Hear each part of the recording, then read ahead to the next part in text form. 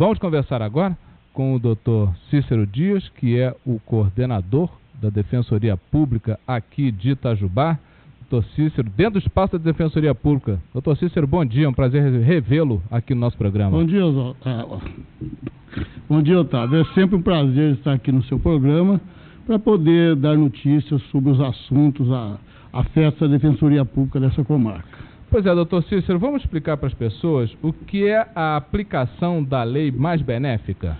Bom, a aplicação da lei mais benéfica é, é a previsão que, que, há no direito da, da retroatividade da lei para beneficiar o, o, o, apenado, né? Então, é, porque senão seria um absurdo uma pessoa continuar preso por um fato que a lei posterior, vamos dizer, aboliu o crime, certo? Então, aí a, esta lei, sempre que ela é mais benéfica ao apenado, ela pode retroagir para beneficiá-lo. E no caso mais recente, nós temos um, uma decisão do Supremo Tribunal Federal, que num julgamento de um habeas corpus, é, é, decidiu pela, declarou a inconstitucionalidade do, art, do artigo 44 da Lei 11.343-06, que é a lei de tóxico, que proibia, num dos seus incisos, que proibia a, a conversão da pena privativa de liberdade em pena substitutiva, como prestação de serviço ou pena pecuniária, aquelas pessoas que eram condenadas pelo crime de tráfico. Isso era proibido? Era proibido, era vedado. O uhum. que, que aconteceu? Com a, a, a declaratória de inconstitucionalidade pelo Supremo, o próprio Senado Federal baixou uma resolução é, revogando essa vedação. Então, hoje nós temos que, como nos termos do artigo 44 do Código Penal, toda pena até quatro anos, ela pode ser substituída por pena é, é, de prestação de serviços ou pagamento de cestas básicas, etc. Antes não podia aplicar naqueles crimes, nos condenados por crime de tóxicos que fossem sentenciados até quatro anos, porque havia essa vedação da lei, da própria lei do tóxico. Hoje, diante desse novo posicionamento, é possível. Então, não é justo que aquele que foi apenado anteriormente, antes desta do evento desta nova desse novo entendimento, continuasse lá cumprindo a pena dele, né?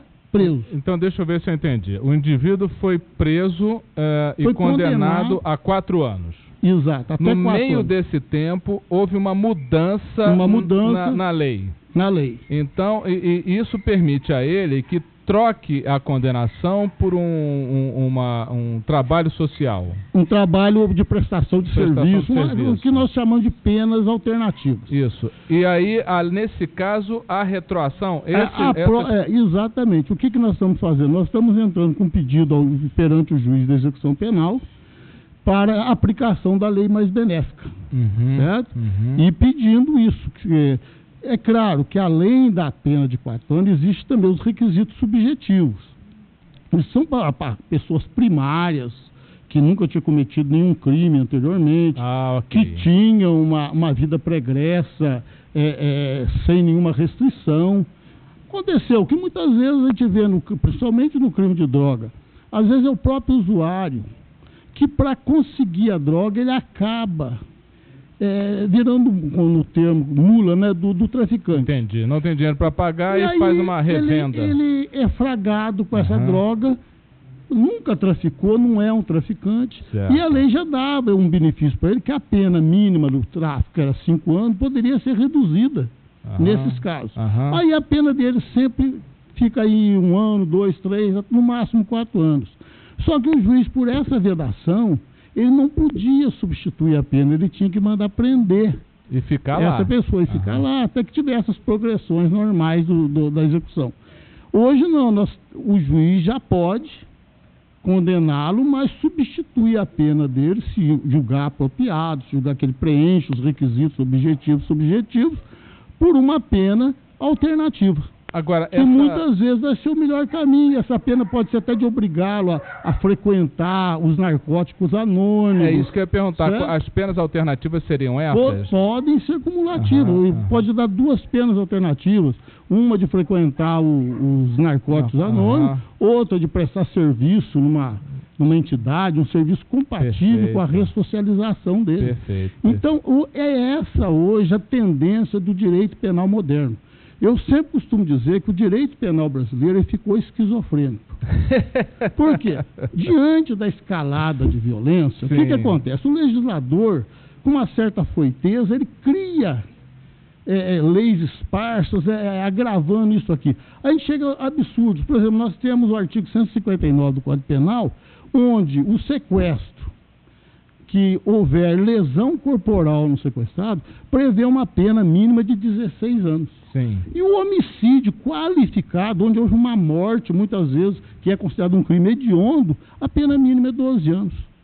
Tem coisas que têm que ser corrigidas, Quer né? Dizer, o homicídio, morreu, é 12 anos. É. O outro sofreu uma lesão corporal, é 16. 16. Agora, então, quanto aqui no caso, na nossa região, no presídio, que o senhor atende, doutor Cícero, quantos serão beneficiados? Já tem uma ideia? Olha, não tenho essa estatística, porque nós estamos fazendo o seguinte, como você sabe, nós estamos fazendo um trabalho no presídio de entrevista, de revisão, sim, um sim. reexame do, da situação processual e entrevista com cada preso. Uhum. É, nós estamos fazendo essa medida da possibilidade, nós já devemos ter entrevistado aproximadamente uns 60 presos condenados. À medida que nós estamos é, é, verificando que aconteceu isso, nós estamos entrando com o pedido. Certo. Mas não temos hoje uma previsão. Mas dos condenados por crime de tóxico, eu acredito que pelo menos a metade vai poder, vai poder fazer esse requerimento. Agora, é, já tem pergunta para o doutor Cícero, Edson Wonder? Temos sim, Otávio. Doutor Cícero, a Sônia, do bairro BPS, ela pergunta por que, que tem presos de Itajubá que estão em presídios distantes. Ela tem um colega preso na cidade de São, João, São Joaquim da Bica, perto de BH, e por esse motivo né, a família não tem condições de visitá-lo devido à distância. Ela gostaria de saber.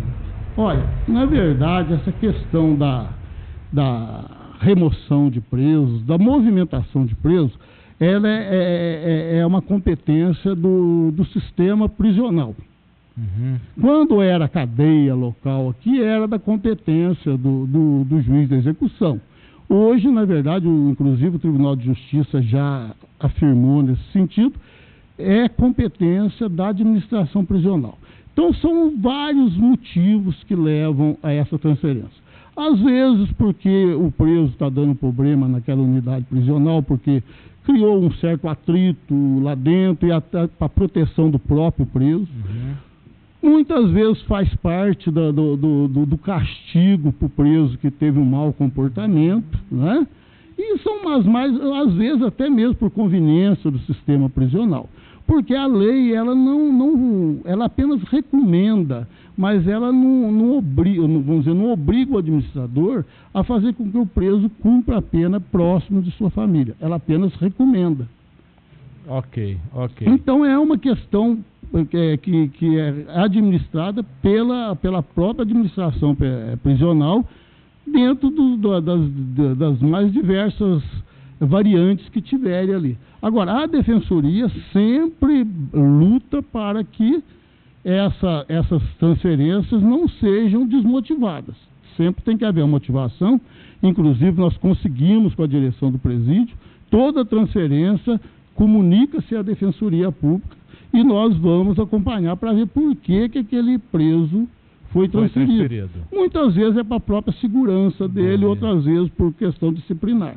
Mas sempre que possível nós estamos pedindo o retorno dele. E mesmo quando conseguimos, quando a, a, a, família nos procura na defensoria, nós entramos em contato com o defensor daquela circunscrição onde ele se encontra e a, o defensor público de lá vai dar assistência, inclusive transmitir é, as preocupações da família e transmitir também o, estado que ele está naquele presídio para que a família fique mais tranquila. A gente faz esse trabalho também dentro da defensoria. Perfeito. Doutor Cícero, então essa aplicação da lei mais benéfica, ela já está valendo? Esse, já, já está sendo aplicada? A aplicação da lei mais benéfica já é um princípio antigo do direito. Uhum. No caso do tóxico, né, dessa modificação do, da lei do tóxico, é, que, que nós, é o assunto que está mais em voga para que nós estamos usando esse princípio de direito do, é, da retroatividade bonamparte, né? Mas já é um princípio já antigo no direito e que nós estamos agora aplicando no caso da lei de tóxico. Ok. Bom, tem mais uma pergunta, o Edson ainda está anotando ali? Ok. Doutor Cícero, é, as pessoas que estiverem interessadas em mais informações, além das que o senhor está prestando aqui, é, para se esclarecerem em, em, relação aos seus parentes que é, estão detidos, como, é, como, é que eles podem proceder? Eles podem é procurar, procurar a Defensoria, defensoria Pública da, das 13 às, às 17 horas no andar térreo do fórum, né? Que é claro, muitas vezes ela vai ter que esperar um pouquinho, porque nós somos dois defensores que atuamos nessa área, e muitas vezes nós estamos ocupados com audiência ou com outros atendimentos. Mas se a pessoa tiver a paciência, que também não é um tempo exagerado, de esperar um pouco, ela será atendida, vamos pegar os dados, vamos entrar em contato com o defensor. Às vezes não conseguimos naquele mesmo momento, mas anotamos, a pessoa pode voltar no outro dia que nós agendamos para saber das notícias que nós podemos dar para ela desse, desse familiar ou desse amigo que esteja preso longe de Itajubá. Né? Pergunta, Edson Wader. Temos sim, doutor Cícero, a ouvinte liga aqui, ela diz que hum, a pessoa está presa, segundo ela, essa pessoa é inocente e, segundo as investigações, não existe nenhuma prova uh, que essa pessoa tenha cometido algum crime. E mesmo assim, essa pessoa vai a júri popular. Ela gostaria de saber por que, que isso vai acontecer se não existe nenhuma prova uh, de, do crime cometido por, por essa pessoa que está presa. Na questão do júri, dos crimes contra a vida, para que a pessoa vá a júri, ou seja, para que o juiz pronuncie, porque o juiz de direito ele não dá uma sentença condenatória no nos crimes contra a vida. Ele apenas pronuncia a pessoa, dá uma sentença de pronúncia para que a pessoa seja submetida ao júri popular. E nessa fase prevalece o princípio do indúbio pró-sociedade. Então, se houver indícios suficientes da materialidade e da autoria, o juiz ele tem que pronunciar a pessoa, porque o, o julgador soberano dos crimes contra a vida é o júri popular. Aí, na fase do júri, que muda, é, inverte-se a indúbio pro réu. Se houver dúvida, se não houver prova suficiente da participação dele, o jurado, o corpo de jurado, pode absolvê-lo com base no princípio do indúbio pro réu. Uhum. Mas agora, sobre o fato específico, fica difícil falar que eu não teria que ver o processo para ver se houve algum excesso. Que é claro que o juiz, mesmo para pronunciar, ele não vai pronunciar também sem um mínimo de indícios de prova da autoria da, e da materialidade do delito. É o caso da pessoa que pode procurá-lo na defensoria para esclarecer. Pode, se não tiver advogado. Que muitas vezes, Otávio, acontece que a pessoa constitui um advogado. Certo.